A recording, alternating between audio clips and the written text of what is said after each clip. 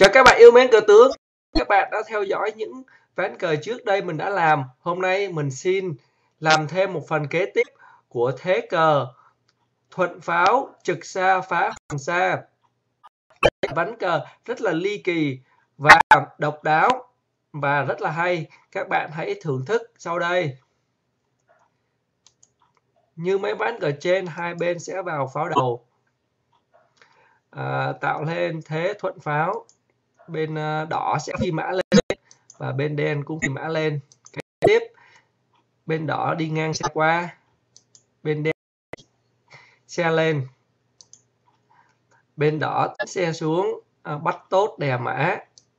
Bên đen đi ngang qua tạo thế hoành xa. Kế tiếp xe đỏ ăn tốt đen. Xe đen chạy xuống đuổi pháo. Pháo đi lên để tránh đường sang pháo đen đi ngang qua, hàm ý để bắt tốt. Bắt sĩ. Và sau đó kèm con mã, đuổi con mã được luôn. Thay vì ván trước mình lên sĩ, nhưng mà trong ván này thì mình sẽ bay mã lên để để dụ cho con xe ăn mã mình. Nếu con xe ăn mã mình, thì sẽ đi con pháo ngang qua, bắt con xe. Bắt hai con xe luôn ha. Nhưng mà xe đen đã không ăn mã mình. Bắt con xe đen là mã pháo đi ngang đây là bắt xe đen đây và bắt tượng đây, chiếu tướng để ăn xe luôn. Bởi vậy bên đen không có không có ăn mã mình ha. Bên đen lùi xe lại để đuổi pháo. Mình sẽ tính tốt. Xe đen ăn tốt đỏ. Sau đó mình mới chạy qua. Kế tiếp mình ngang xe bên đen phi mã lên. Pháo mình đuổi xe đen bởi nên à, bên đen phải phi mã lên để đỡ. Xe đen ngang qua cố ý để um, um, cố ý để mình đổi pháo và đổi mã. Nhưng mà pháo đen đã đi ngang qua. Tiếp mình bay mã lên để đuổi xe đen. Xe đen sẽ thừa cơ ăn vào tượng mình. Đây là những à, những chiêu thế kế tiếp rất là ngoạn ngục mình sẽ thí xe luôn rồi nha các bạn. Thấy coi là mình sẽ thí hai xe và để được thế hay thứ nhất mình dùng mã ăn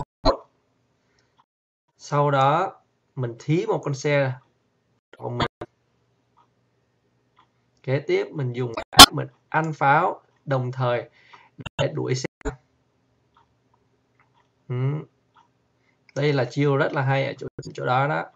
À, mã đen phi lên bắt mã mình. Mình dùng xe ăn vòng mã đen. Đồng thời, đuổi con pháo đen luôn. Tượng bay lên. Tượng bay lên để chạy thân thường mà đồng thời dùng con pháo để đuổi quân xe mình. Đây là cơ hội để cho mình phản công rất là hay. Mình sẽ dùng pháo triệt vào tốt chung, lộ đạo lên thế pháo đầu. Kế tiếp bên đen bay sĩ lên. Sau đó mình dùng con xe mình thí thêm con xe nữa. Uhm, rất là hay. Đó tượng bên đen bắt buộc phải ăn lên. Các bạn thấy ra chưa? Đó. và cuối cùng đây là chiêu thế rất là hay. Hay lắm các bạn ơi. Mình sẽ từ con pháo chạy ngang qua phía chân tốt của mình. Ô oh, quá hay. Quá hay bạn ơi bên đen còn hai xe, một pháo, một mã mà không làm gì để thay đổi được tình thế. Tướng đen không thể đi ngang qua được, tại vì đã có chân mã mình nằm đó rồi. Pháo đầu nằm ở giữa và con pháo của mình chuẩn bị đâm thọc xuống dưới. Chết. Mã đen không thể ăn đại mã của mình được nữa.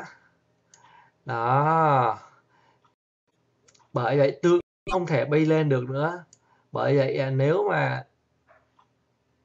bên đen chỉ cần đi một những nước bơm thôi, ví dụ đen lên đây, hoặc con đen lùi lại mã hoặc pháo bên đen mà lại pháo có không kịp nữa rồi.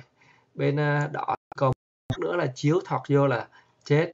Ví dụ như là đen vô đây pháo đã chiếu tướng tướng đen chết luôn. Wow, ván cờ hay quá bạn ơi.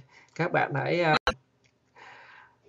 hãy à, tham khảo à, coi lại và học hỏi thêm. Chúc các bạn chơi cờ tướng vui vẻ.